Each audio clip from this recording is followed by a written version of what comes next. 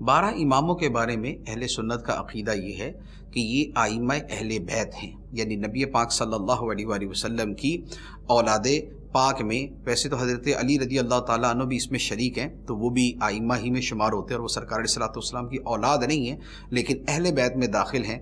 नबी पाक सल्लल्लाहु वसल्लम ने अहल बैत में बतौर ख़ास उनको शामिल करार दिया। तो अब वो जो मौला अली, शेर खुदा रदी अल्लाह तहों की औलाद पाक है, इमाम हसन हुसैन हैं, उनके बाद इमाम जैनआबिदीन है, फिर इमाम जाफ़र सादिक हैं, फिर इमाम बाकिर हैं। तो ये वाला जो सिलसिला है ये इमाम बाकिर हैं, फिर इमाम जाफ़र सादिक हैं। तो ये जो सिलसिला है, ये अहल बैत के वो नहायत मुतकी पारसा और आला दर्जे की बुज़ुर्गी और विलायत और रूहानियत और मकाम मरतबा के हामिल बुज़ुर्ग थे। कि जिन्हें पूरी दुनिया इस्लाम तस्लीम करती है, जिनके मकाम मरतबे को और जिनकी अजमत शान को और जिनके मकामात विलायत में इंतहाई आला दर्जे पे फ़ाइज होने को सारी दुनिया तस्लीम करती है, सारे मुसलमान तस्लीम करते हैं तो अहल सुन्नत का अकीदा इनके बारे में ये है।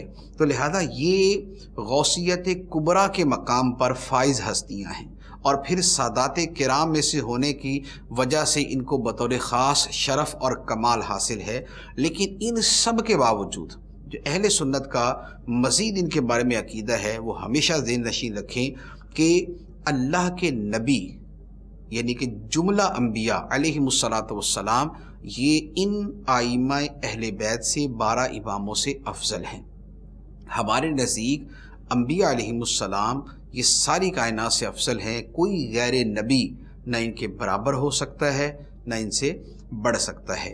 इसी तरह जो मासूमियत का अकीदा है, वो भी अहल सुन्नत का बहुत वाज क्लियर है कि मासूम सिर्फ़ अल्लाह के नबी और उसके फरिश्ते होते हैं। हाँ ये है कि ये हस्तियाँ महफूज हैं कि अल्लाह ताला इनकी हिफाजत फरमाता है गुनाहों के इरतकब से। तो लिहाजा अहल सुन्नत का जो मज़हब इनके बारे में है, वो है इतदाल पर। ना उसमें इफ़रात है, ना उसमें तफरीत है।